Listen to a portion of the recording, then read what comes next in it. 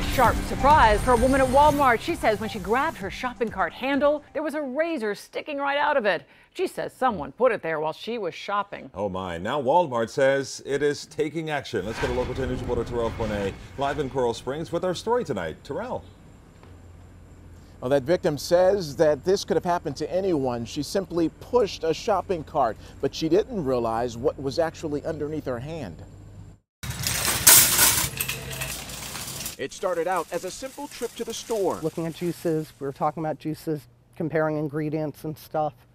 And then when I went to move it, I felt something. That something, which snagged Faith Farrell's hand, was a sharp razor blade attached to the handlebar of her shopping cart. Very sharp, odd feeling of what could that be that poked me. And then when I saw it, I'm like, this can't be real. Faith and her 10 year old daughter snapped these photos of the odd object and then sought out store managers. They didn't take it serious. I thought, you know, there's always a cop car outside of there that they would have called a police officer, security, somebody to look and try to find how it happened. So Faith filed her own police report and posted the proof on social media. We reached out to Walmart tonight for comment and they tell us, quote, it's disturbing that someone would purposely try to injure a customer or associate. We take this matter seriously and have since checked all shopping carts and are currently conducting regular checks. Just a little scrape, it was nothing. This mom of two was not seriously injured, but she worries about the next time that an unsuspecting shopper reaches out and grabs a cart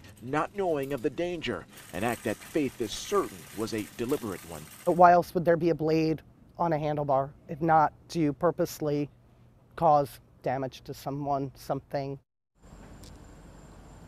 Faith says she is grateful that her kids did not try to push that cart here inside of this Walmart right off of State Road 7 and Sample Road. But tonight she is hoping that since the police are involved, that they review the surveillance video to find out who is responsible. Reporting live from Coral Springs, I'm Terrell Forney, Local 10 News.